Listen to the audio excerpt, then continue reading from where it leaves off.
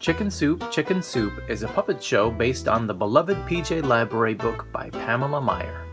The story revolves around two grandmothers, one Jewish and one Chinese, who come up with elaborate ways to show their granddaughter that their cultural heritage, their chicken soup, is the best.